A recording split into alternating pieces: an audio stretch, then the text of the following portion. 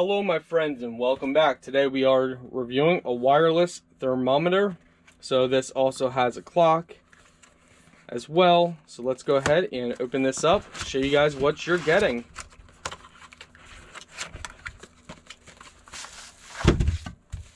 So right away, they provide you with instruction manual. So make sure you check out your manual for all the fun information.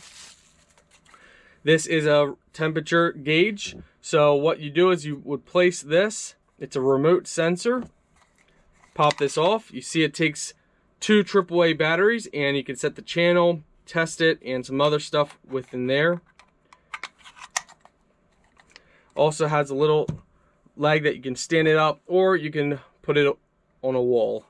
Let's go ahead and show you the actual unit itself. Take a look on the back here. It takes three AAA batteries. It's got its own little stand so you can have it stand up just like that. Um, you can peel this plastic piece off that is around here so it will look nicer once that's peeled off. Go ahead and add some batteries to this.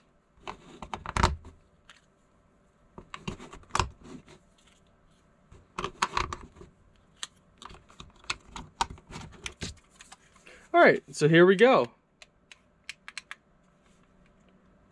So it's gonna have to take some time to uh, readjust and whatnot.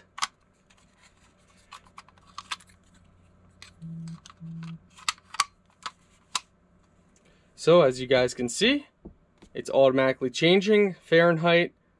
It shows you right here. You can set everything with touch screen right here.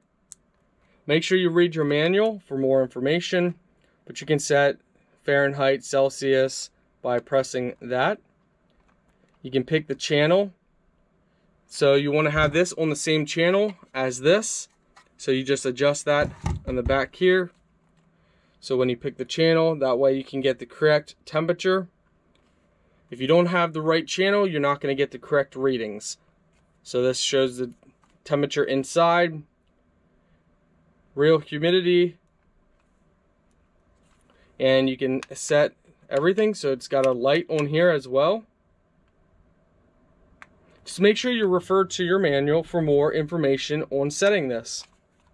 Shows up the clouds, you know what type of day it's going to be.